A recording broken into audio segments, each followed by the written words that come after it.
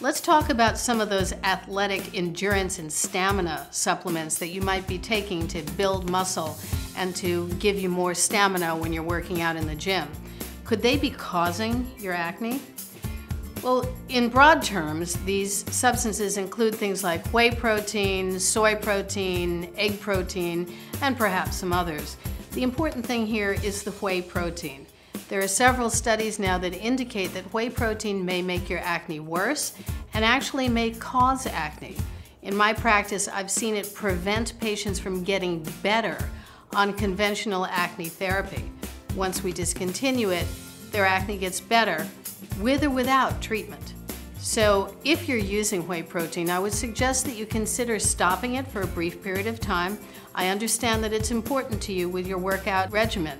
So just switch to soy protein to egg protein and see if your acne gets better.